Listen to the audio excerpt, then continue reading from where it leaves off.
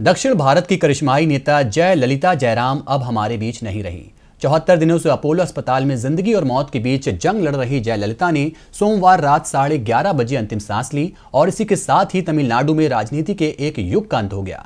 मज़बूत इरादों वाली जयललिता का राजनीतिक जीवन काफ़ी उतार चढ़ाव भरा रहा, लेकिन जयललिता तमाम मुश्किलों का सामना करने के बाद भी डटी रही। फिल्मी जगत की ग्लैमरस गुड़िया से जयललिता कैसे बन गई आयरन लेडी? आइए देखते हैं ये रिपोर्ट।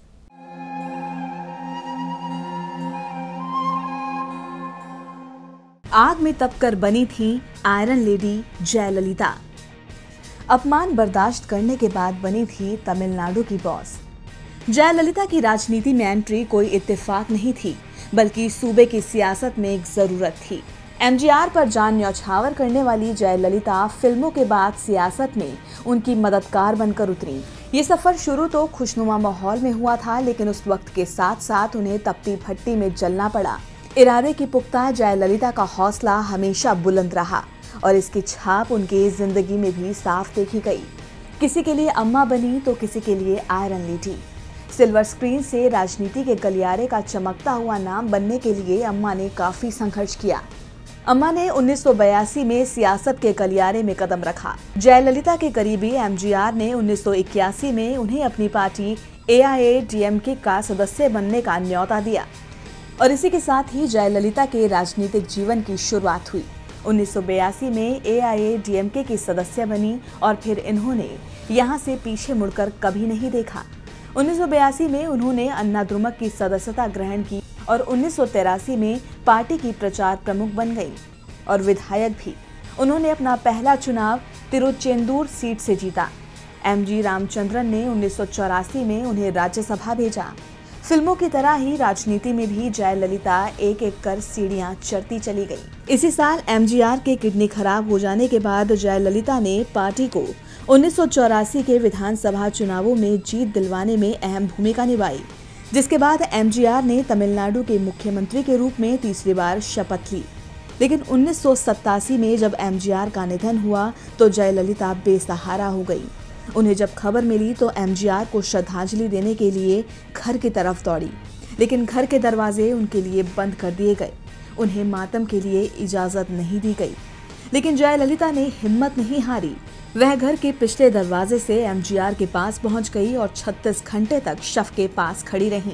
विरोधियों को जयललिता का शव के पास खड़ा होना नागवार गुजरा। उनके साथ धक्का मुक्की की गई, लेकिन वो सब कुछ सहती रही। यहाँ तक कि शव यात्रा के दौरान जयललिता को गाड़ी से धक्का दे दिया गया, लेकिन वो डटी रही। एमजीआर के निधन के बाद उनके राजनीतिक उत्तराधिकारी के मुद्दे पर एआईएडीएम के दो हिस्सों में विभाजित हो गई। इसका एक हिस्सा एमजीआर की पत्नी जानकी रामचंद्रन संभाल रही थी और दूसरे की नेता बनी जयललिता। एमजीआर की मृत्यु के बाद जानकी रामचंद्रन तमिलनाडु की पहली महिला मुख्यमंत्री बनी। लेकिन वो सत्ता में एक महीने तक भी नहीं रह पाई। जब तत्कालीन प्रधानमंत्री राजीव गांधी ने आर्टिकल 356 का इस्तेमाल कर सरकार को बर्खास्त कर दिया। इसके बाद के विधानसभा चुनावों में जानकी रामचंद्रन के नेतृत्व वाली ए एआईएडीएमके की हार हुई। जानकी ने राजनीति से संन्यास ले लिया और ए एआईएडीएमके के दो विभाजित हिस्से वापस एक हो गए और जयललिता तमिलनाडु विधानसभा में विपक्ष की नेता बनी।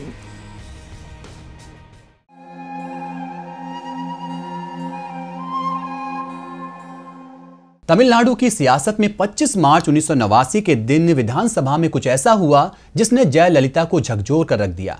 और उस घटना से नाराज़ जया ने प्रतिज्ञा ली कि जिस दिन यह जगह महिलाओं के लिए सुरक्षित हो जाएगी, उसी दिन वो विधानसभा में कदम रखेंगी और शायद इसी जिद ने जया को अम्मा बना दिया।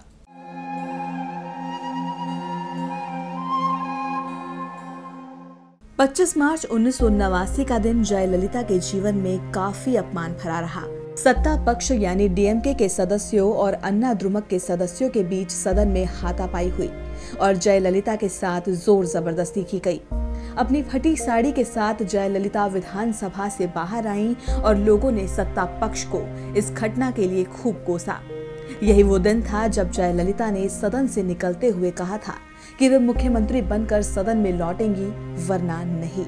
इसके बाद सियासत के ऊट ने ऐसी करवट ली कि सब कुछ बदल गया। उन्नीस सौ इक्यानवे में राजीव गांधी की हत्या के बाद एआईएडीएमके ने कांग्रेस के साथ मिलकर विधानसभा चुनावों में हिस्सा लिया, जिसमें एआईएडीएमके को भारी सफलता मिली और जयललिता ने पहली बार तमिलनाडु की मुख्यमंत्री के रूप में शपथ ग्रहण की। अपने जीवन के सफ़र के बारे में चर्चा करते हुए एक बार जयललिता ने कहा था, मेरे ज़िंदगी का एक तिहाई हिस्से पर मेरी माँ का प्रभाव रहा। ज़िंदगी के दूसरे तिहाई हिस्से पर एमजीआर का। मेरे ज़िंदगी का सिर्फ़ एक तिहाई हिस्सा ही मेरा है। मुझे इसी में बहुत सारी जिम्मेदारियों और कर्तव्यों को पूरा करना है। उन्नीस सौ इक्यानवे में मुख्यमंत्री बनने के बाद उन्नीस सौ छियानवे में हुए विधानसभा चुनाव में जयललिता को हार का मुँह देखना पड़ा। लेकिन तब तक जयललिता एक मज़बूत राजनीतिक हस्ती बन चुकी थी। उन्नीस सौ छियानवे में डीएमके के सत्ता में आते ही दिसंबर में भ्रष्टाचार के एक मामले में जयललिता को 30 दिनों के लिए न्यायिक हिरासत में ले लिया गया था। इस मामले में सन 2000 में हाई कोर्ट ने निचली अदालत के इस फैसले पर रोक लगा दी थी। लेकिन तमाम कानूनी दाव पेच खेलने के बाद जयललिता 2001 में एक बार फिर मुख्यमंत्री बनने में सफल हुई इसके बाद तीसरी बार उन्होंने 2 मार्च 2002 को कुर्सी संभाली और 12 मई 2006 तक कुर्सी पर काबिज रहीं। साल 2011 में जब 11 दलों के गठबंधन ने चौदहवीं राज्य विधानसभा में बहुमत हासिल किया तो जयललिता चौथी बार मुख्यमंत्री बनी। इस दौरान पुराने आय से अधिक संपत्ति के मामले में 2014 में बेंगलोर की विशेष अदालत ने उन्हें चार साल की जेल और 100 करोड़ रुपए का जुर्माना लगाया था।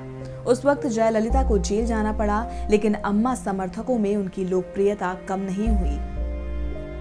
2015 में उन्होंने पांचवी बार मुख्यमंत्री के रूप में सूबे की कमान संभाली और अपने निधन तक तमिलनाडु की मुख्यमंत्री बनी रहीं। तमिलनाडु की आयरन लेडी अब हमारे बीच नहीं है। जयललिता के व्यक्तित्व के प्रभाव को कभी नहीं नकारा जा सकता। उनकी नीतियाँ, उनके संघर्ष और अपनेपन ने लोगों को हमेशा उनसे बांधे रखा।